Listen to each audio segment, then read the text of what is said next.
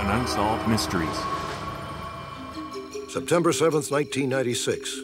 Gunfire erupts along the famous Las Vegas Strip, taking the life of rap music star Tupac Shakur. Today, disturbing questions haunt the investigation. Why were Shakur's trusted bodyguards unarmed? Why did the killer seem to target only Shakur? And why was almost no one willing to talk? They are snapshots of a different time and place. Virginia Burns always thought she was the baby in the pictures.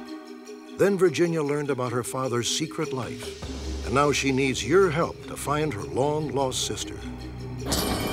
It is a phenomenon so bizarre that it defies belief. Ordinary people suddenly and inexplicably bursting into flame.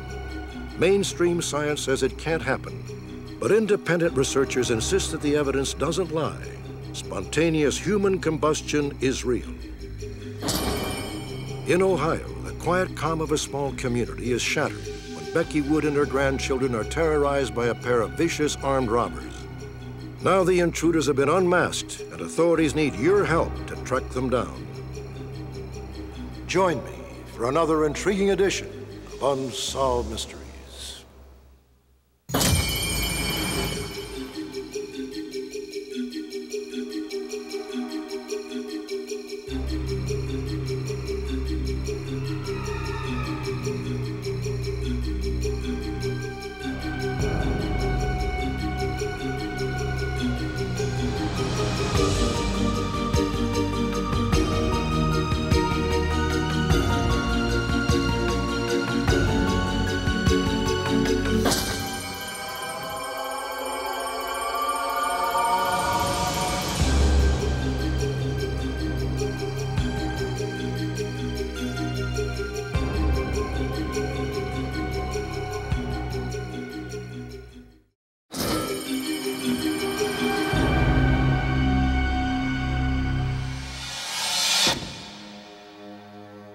Becky Wood doesn't need this police photograph to remember the terror, the choking fear of being bound, assaulted, and absolutely convinced that she and her four grandchildren were going to die.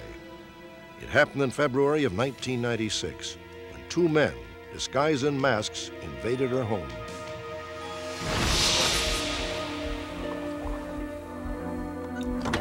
It was 7 a.m. Becky's husband had just left for work. The intruders seemed to know exactly what they were looking for.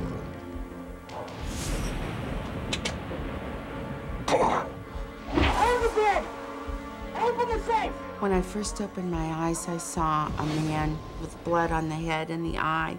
And I thought, oh my God, I'm having this bad dream. And then when he said it again, I knew it was for real. Let's go. Come on, Becky's granddaughter was sleeping beside her, and Becky thought to hide her with a blanket kitchen.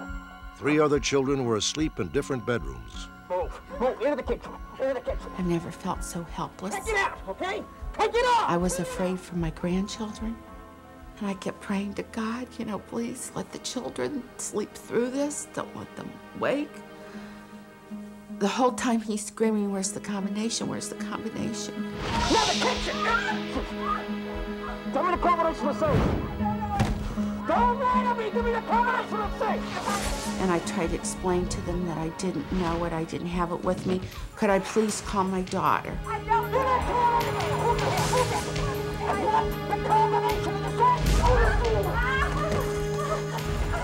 He kicked me in the head and he kept telling me that they would take the children. I'd never see them again. And I kept trying. I swear I don't have the combination. I swear I would open that. I give it to you. I don't have it. Sounds of ransacking came from upstairs, where the second intruder was looting Becky's dresser of jewelry. That's when nine-year-old Matthew wandered out of his room. Here we got one up! I don't really know how to explain what I felt. Like my heart just felt like it was just gonna beep or something. It was pounding real hard and all that because I didn't know what it was. He threw Matthew on the floor and put his hands behind him and tied him up. I saw the man's feet coming around in front of me. and he took a trash bag and put it over my grandson's head. I thought they were gonna take me out in this rug and kill me, and they were gonna smother Matthew. Do anything! You count to 2,000 before you move, or else we'll be back to kill you! Dad!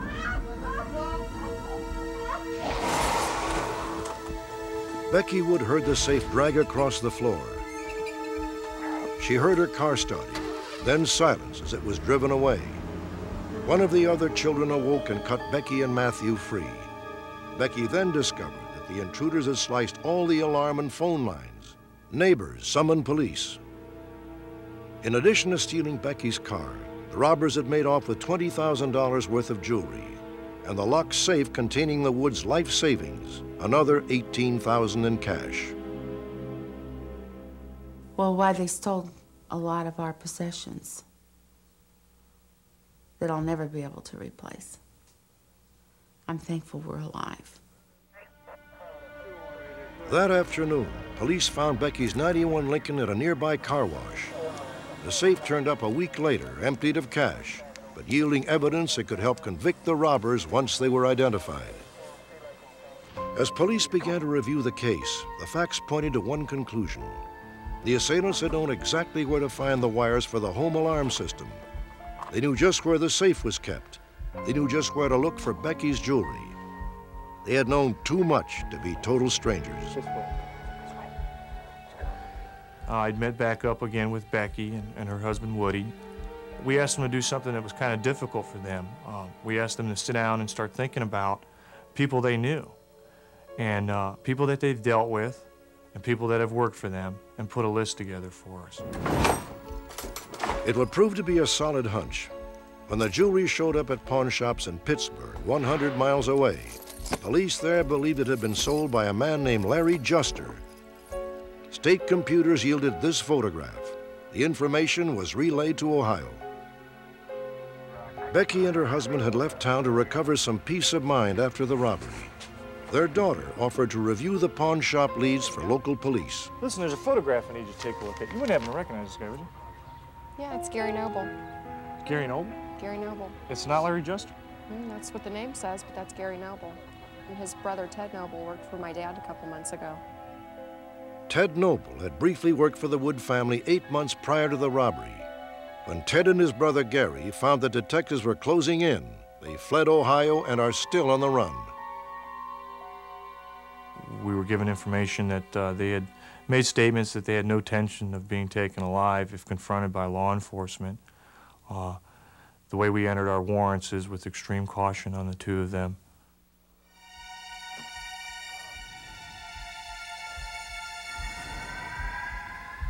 The robbery has done something to us that you don't really understand unless you go through it yourself. And open the safe! I'm angry what they did to my grandchildren. And I'm angry. I am angry at the man that did this.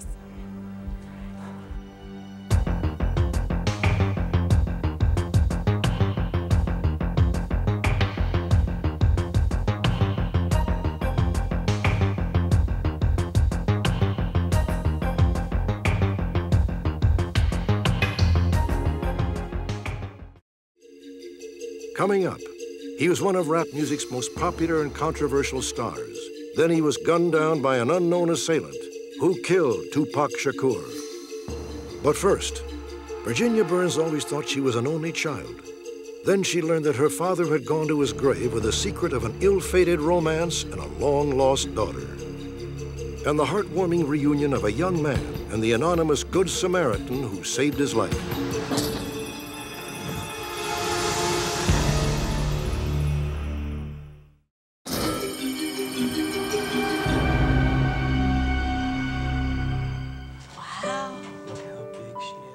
August 27, 1995, began as a joyous day for Steve and Sharon Newton of Immokalee, Florida. That morning, their first child, Virginia, was born. Steve had come to the hospital straight from work. At around 2 p.m., he headed home on his motorcycle to pick up the family car. He had no way of knowing he was was on a collision course with disaster.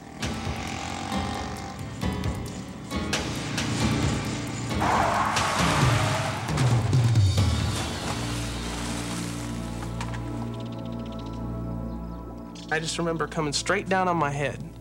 As I hit, I saw poof, this big bright light, and that was it. Then I was just completely out. For Steve Newton, death was just a heartbeat away. Then, a gift from heaven.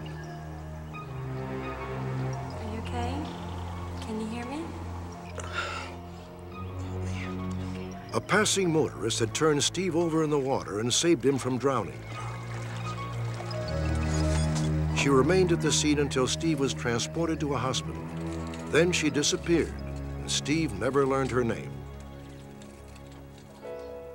If she could just see my daughter, she'll know that she did me the, the greatest favor or gift that anybody can give, and that's to give me back my life. And I'd like to say thank you for that. With the help of our viewers, Steve Newton recently had a chance to do just that. Here's Keely Shaye Smith with the details. Bob, a woman in Florida recognized the story as one she had heard from a coworker named Tammy Dodson. After the broadcast, Tammy's boyfriend discussed the case with one of his coworkers, who happened to be Steve Newton's father-in-law. It soon became perfectly clear that Steve's mysterious Good Samaritan was in fact Tammy Dotson. On January 31, 1997, Steve and Tammy met face to face for the first time since the near fatal accident.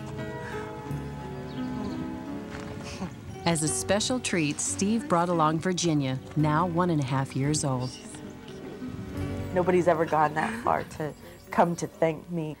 And he kept saying that I was his angel. I've never been called an angel before, far from it.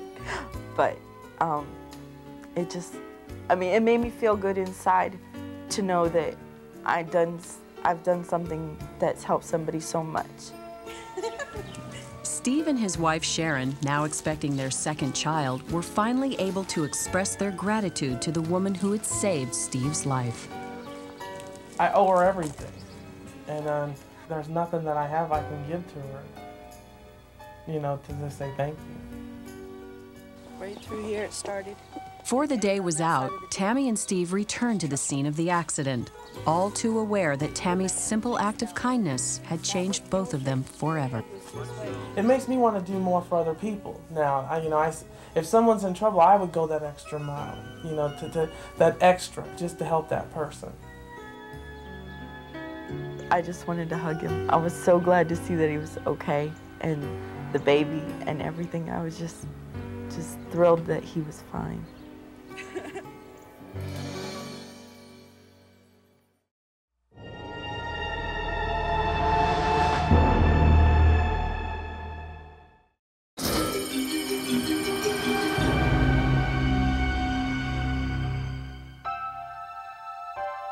Are from another place and another time.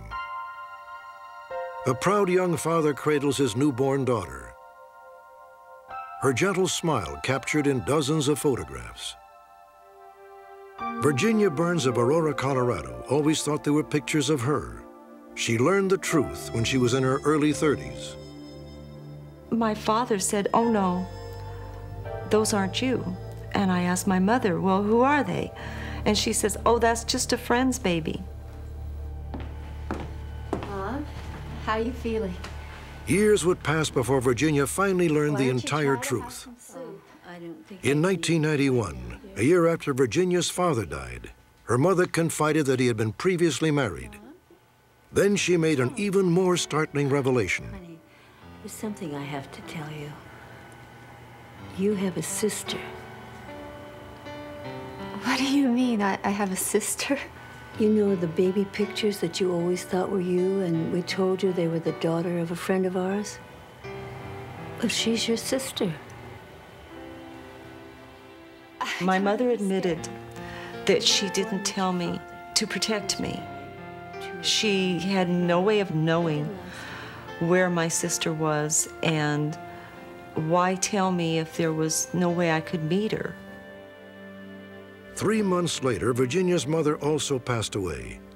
With both of her parents gone, Virginia launched a search for the sister she had never known.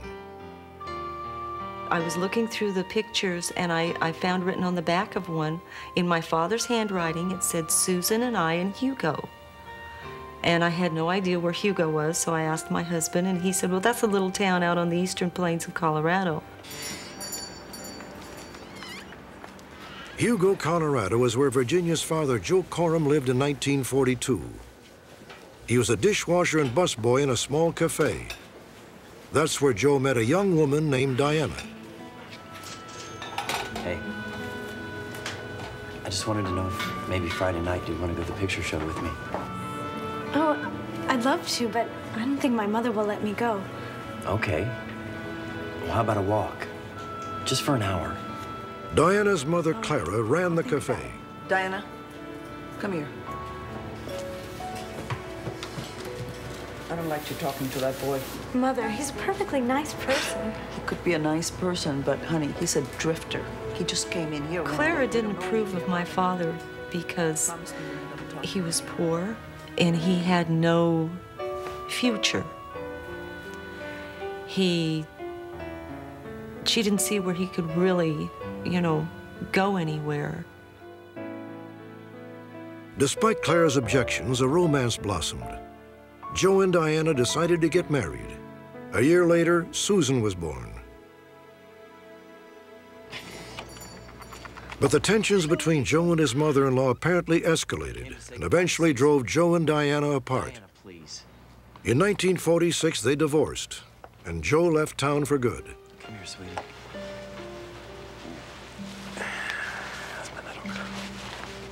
Daddy's gonna miss you.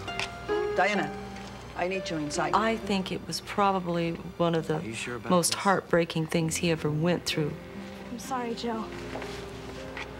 to leave Susan and Diana. I, I really don't think he would have left unless there was just horrendous pressure on him. Joe Corum apparently never saw his wife or his daughter again. After the separation, he moved to Greeley, Colorado, where he fell in love with Virginia's mother, Dolly. They eloped, and Virginia was born a year later. Joe was happy with his new family, but he apparently never forgot the daughter he had left behind. Now looking back some 40 years, Virginia understands the poignance of one memorable incident from her childhood. It was Virginia's sixth birthday. For months, she had coveted a doll in the window of a local store. She was just like an unreachable dream. I opened that box and there was that doll, and it was just like time stopped. I was so excited to get that doll. So what have you thinking of your doll, sweetie? I love her. She's beautiful. Well, what's her name? I don't know. What do you think I should call her? He says, Why don't you call her Sweet Sue? How about Sweet Sue? And I did, not realizing that that was the name of my sister. Jenny, why don't you go inside and play with your dolly? Okay. Run in inside. Sweet Sue? I know, I know. It's okay. You must really miss her. Yeah. Let's clean up. Okay. I know I missed her. A lot of times when I was growing up, he would search faces. We would go out and there'd be a lot of little girls around, you know, and he would search faces.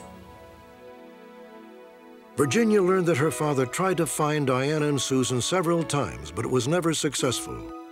He died in 1990 without ever learning their fate. Virginia now hopes to succeed where her father failed and find the sister whose memory lingers on in the sweet innocence of a young girl's doll. This is important to me for two reasons.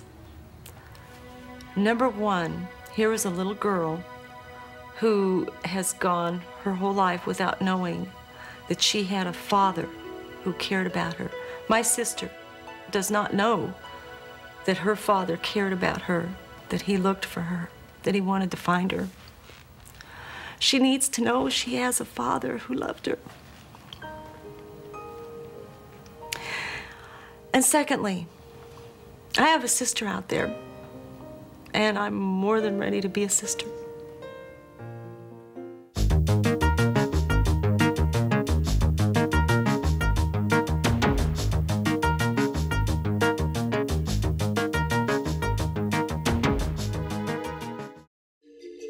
When we return, for mainstream science, it is too incredible to believe, but some researchers are convinced that spontaneous human combustion is very, very real.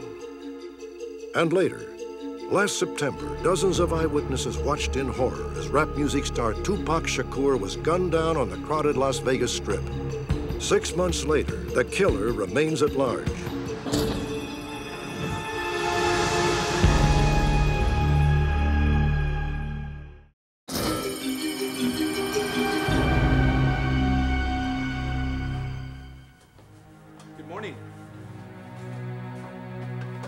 Coffee at Kay and Mike Fletcher's hardly ranked as an unsolved mystery until the peculiar events of February 11th, 1996. It happened just after 9 a.m. Mike? The Fletchers say that smoke suddenly began to billow from Kay's body. It's not my sweater. Take it off. I had Michael take a look at my back. I said, take a look at my back, because I'm thinking, do I have blisters or what? And he says, no, it's just red. We really were frantically looking through the clothing, you know, like arm and back, and just looking it over very carefully. And we found absolutely no discoloration. We found no sight of any kind of fire damage. Yeah, I mean, it was actually coming off of her skin, but there was no flame. The smoke was so thick that we did have to turn on the fan and open the window just to get the smoke out of there. Now, earlier in my life, I had worked at a crematory, and it, the smell was that of burnt flesh. I, there was no mistake of that because I, you know, it's, it's an unmistakable smell. Mike? Mike? For Kay and Mike Fletcher, it was frighteningly real, yet at the same time almost impossible to believe. Only later did they learn that such mysterious episodes have been reported for well over 500 years. Students of the paranormal call it spontaneous human combustion, or SHC, when a perfectly normal person bursts into flame without warning and without apparent cause. Mainstream scientists dismiss such accounts. Still, the reports have persisted since the 15th century show no signs of letting up now at the dawn of the 21st. If there is indeed such a thing as SHC, Kay Fletcher is one of the few who lived to tell about it. Most of the others weren't so lucky. March 26, 1986. Kendall Mott was worried. His father, George, a retired fireman, had serious lung problems. An air pump and face mask helped keep him breathing. But on that day, George hadn't answered repeated phone calls. A quick look around convinced Kendall that something was wrong. The windows were all brown. And I noticed that the door handle was warm when I grabbed it. Dad? It was real dark inside the house, and it smelled like it had been burnt. Dad? Dad? Kendall was confronted by a ghastly sight. Fire had reduced his father to a scattering of ashes, a few splinters of bone, and a fragment of skull.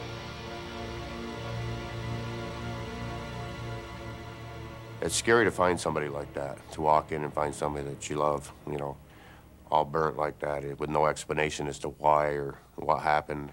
The case of George Mott in the spring of 1986 has all the hallmarks of classic spontaneous human combustion. There's incredible localized damage done to the body. Uh, George Mott was incinerated to an extent that we have been told by forensic experts could only be replicated inside a crematorium operating at 3,000 degrees Fahrenheit or more for 12 long hours. The searing heat had melted a television in the room. Yet curiously, it had left much of the bedding unscathed. In addition, scarcely two feet away, a box of wooden matches had failed to ignite, and air was still pumping through George's face mask. Skeptics, however, insist that behind the bizarre scene lies a rational explanation. Now, do I know exactly what happened? I don't, but let me reconstruct a little bit. We're told that Mr. Mott was a former uh, drinker and a former smoker, but that he had reformed. He was supposed to be depressed. Just suppose that he said, What the heck, I think I'll have a cigarette. This would explain him taking off the oxygen mask while the unit would still be left running, and it would explain why the matches were there. Now, if that's the case, then this is just another case of smoking in bed and is not mysterious and is a rather mundane case. But not even skeptics use the word mundane to describe what Don Gosnell found in December of 1966. A gas company meter man in Coudersport, Pennsylvania, Gosnell called on Irving Bentley, a 92-year-old retired physician. That day, Dr. Bentley was apparently away from home. Gosnell let himself into the basement.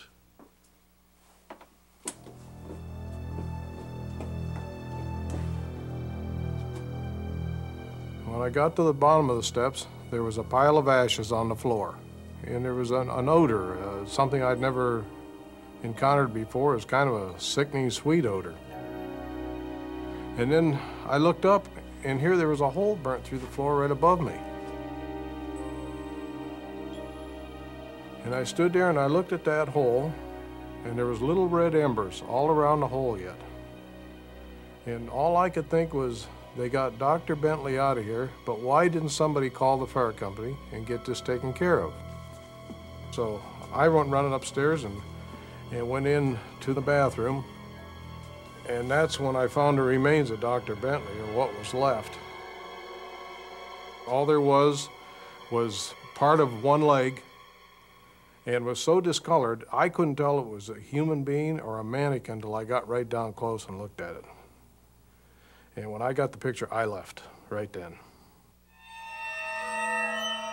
What is so amazing and so profoundly perplexing to mainstream science about the scene that Dr. Bentley left behind is the incredibly intense fire that consumed his body quite literally to powder, leaving behind only his head, a knee bone, and a lower left leg as mute testimony that this had once been a human being. The rest of his body was ash in the basement below. We believe that Dr. Bentley answered a call of nature, to be polite, or standing in front of the toilet, suddenly, spontaneously, he became a human fireball. The nature of the fire, and we kind of use fire in quotes here, failed to produce enough thermal energy to melt the aluminum walker, failed to produce enough heat to blister paint on the bathtub inches away, and yet was quite capable of directing its energy downward through the oak beams, through the flooring, and into the subfloor beneath, into the basement. The case of someone like Dr. Bentley is very understandable in the sense of him being infirm. He had a history uh, of setting his clothes on fire from his pipe. His uh, clothing was pockmarked with burns from his pipe. Dr. Bentley also had a habit of keeping matches in his bathrobe pockets. Joe Nickell believes that burning ashes from Bentley's pipe dropped near them and they ignited and there was plenty of fuel to feed the flames.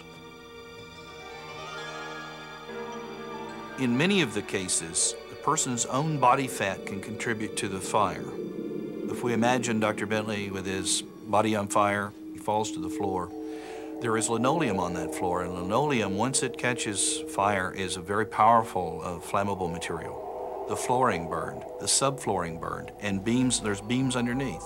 There's a tremendous amount of wood underneath his body to act as a funeral pyre. Mysterious? Not really, not scientifically mysterious. Unusual, yes. The debunkers of spontaneous human combustion could conduct a very simple experiment. Take a cadaver, put it on a tar-based linoleum flooring, put an aluminum walker over top of it, and drop a cigarette on it. If it burns to powder, we're going to be real impressed, and that person deserves a Nobel Prize in physics. But I'll wager money that experiment's going to fail. Larry Arnold theorizes that some cases of spontaneous human combustion may be an explosive aberration of the electrical current flows naturally present in the body. We have the potential of hundreds of thousands of volts of electricity coursing through the body instantaneously. If the amperage is sufficiently high, then the body would literally become its own electrocution mechanism. it would fry itself out from the inside electrically. Uh, this is uh, crack pottery of a very high order. There is not a single reasonable theory for spontaneous human combustion. There is no convincing scientific evidence of it, and so the mystery mongers ought to shut up and get a life. Larry Arnold is unfazed by such criticism. He claims to have researched over 400 cases of spontaneous human combustion, some dating back to the 1400s, and many documented by photographs. The naysayers, the PhDs who are phenomena-hating debunkers, choose not to face the facts. This is a mystery that's crying out for study, that's crying out for recognition. This is a mystery that is, to this day, unsolved.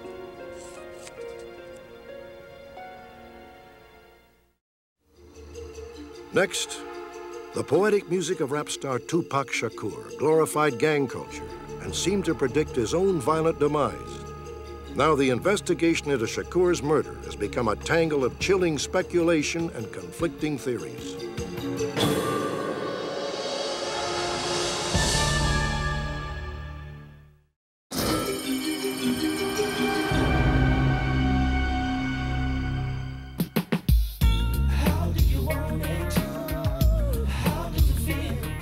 Tupac Shakur, one of rap music's most popular and enigmatic artists. His autobiographical songs reflected a dark, treacherous world he knew all too well. Alternately described as a street thug and a charismatic poet, Tupac won the adoration of millions. By the age of 25, he had cut four platinum albums and starred in five feature films. I thought he was a brilliant man. Thought he had a lot of vision, a lot of foresight. Uh, he made, uh, he was very creative. He was an artist, you know, and at the same time, he was a revolutionist. He was a great person. He was extremely charismatic. He was very intelligent, very business smart, um, very funny, very warm, intelligent, caring. Um, that was the Tupac that I knew. Despite his success, Tupac could never resist the lure of the streets. Between 1991 and 1995, he was arrested eight times. In 1994, he was shot five times and left for dead in the lobby of a New York City recording studio. In 1995, he served eight months in prison for rape. Within a year of his release, Tupac's explosive past finally caught up with him. He was cut down in a hail of gunfire just off the Las Vegas Strip. His killer is still unidentified, still at large. According to those who knew him best, Tupac Shakur never expected to reach his 25th birthday. He was wrong, but only by three months. Shakur's untimely death has raised a host of questions and given rise to three distinct theories about his murder. A murder that occurred as Tupac Shakur relaxed with friends in America's playground, Las Vegas, Nevada. It was September 7th, 1996. Las Vegas was operating at full capacity. Thousands had gathered for the heavyweight boxing match between Mike Tyson and Bruce Seldon, held at the world-famous MGM Grand Hotel. Tupac Shakur was one of the many celebrities who attended the fight. He was accompanied by Marion Suge Knight, CEO of Death Row Records, Shakur's recording company. This photograph of Tupac and Suge was taken after the fight at around 10.55 p.m. They were headed for Suge's dance club, followed by an entourage of musicians and bodyguards. Tupac, who normally was known to pack a weapon, as was Suge and, and many people in the entourage, they weren't armed that night, and, and everybody said they felt safe. Reporter Cathy Scott is writing a book about the murder.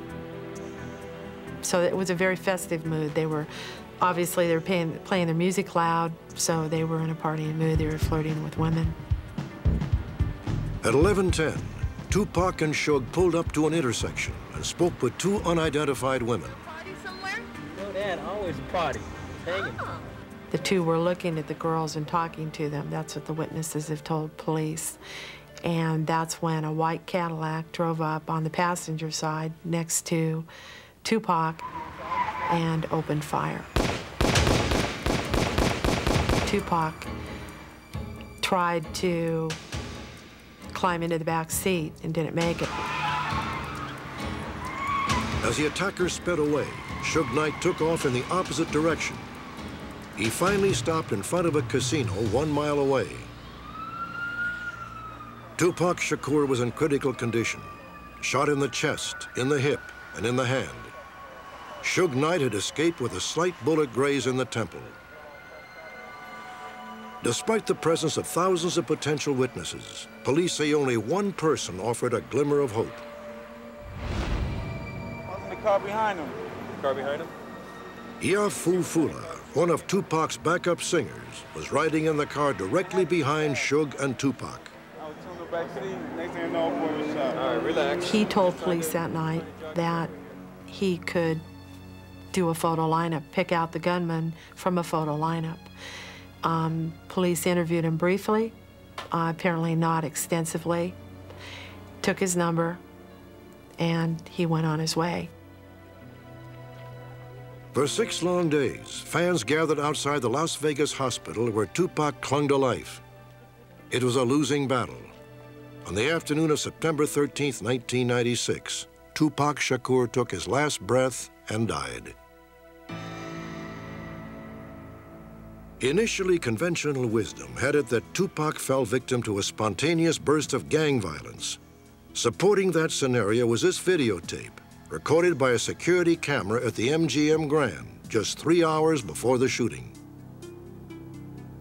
Members of Tupac's entourage can be seen in the lobby engaged in a brutal scuffle. Both Suge Knight and Tupac were present. Moments later, Tupac, followed by Suge, can be seen hurrying through the casino. The target of the assault was 22-year-old Orlando Anderson, an alleged member of a Los Angeles street gang, the Southside Crips. It has long been rumored that Suge Knight is affiliated with a rival gang, the Compton Bloods. Was this confrontation the spark that led to Tupac's murder?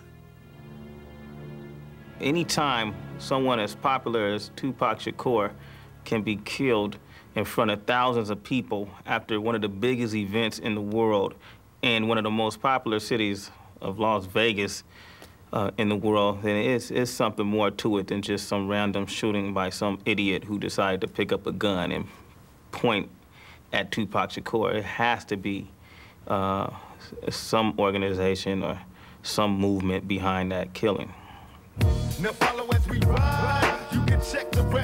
Some say this music video by Tupac offers a clue to a second scenario.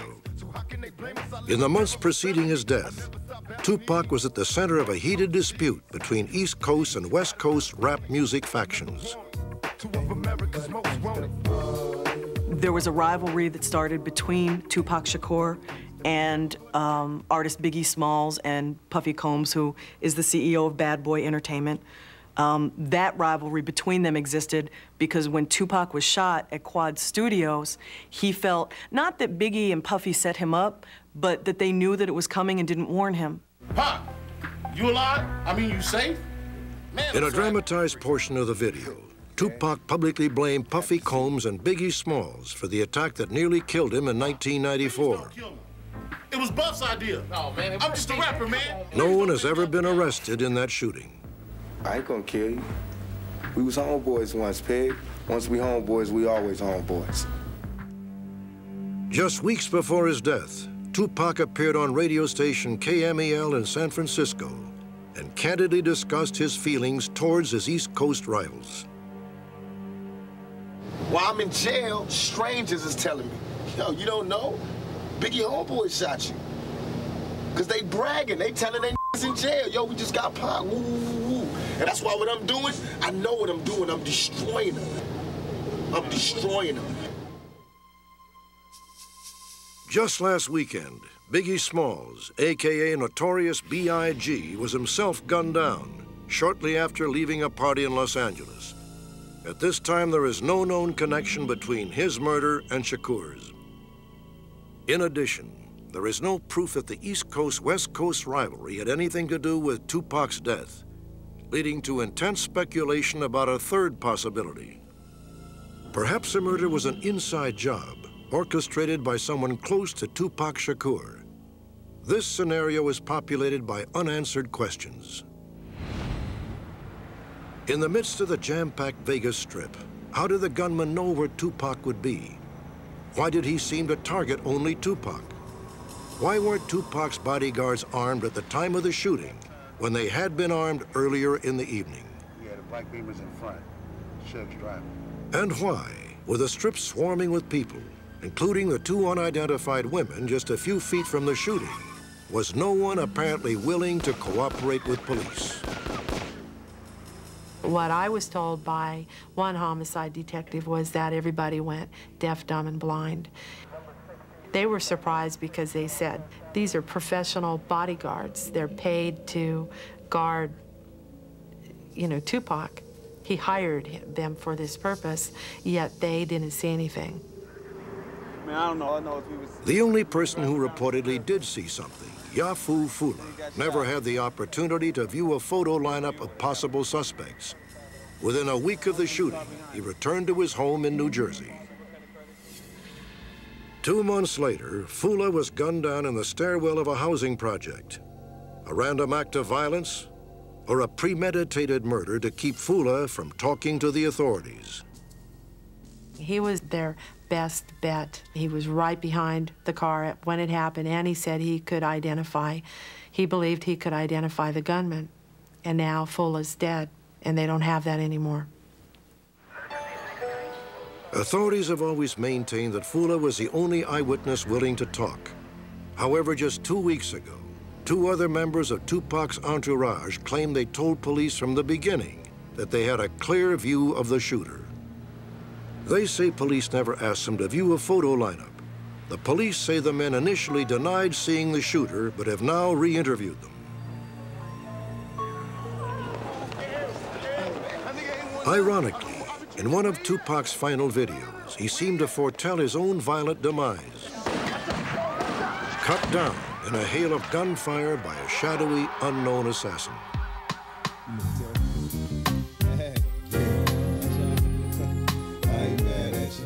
I don't know if we'll ever know who killed Tupac Shakur, but I do know that there's millions of people that are devastated by his loss. There was a lot of things people might consider bad about Tupac, but there, were, there was a lot of good things about Tupac, and we had yet to see all the good things that uh, I believe could have came out of Tupac Shakur.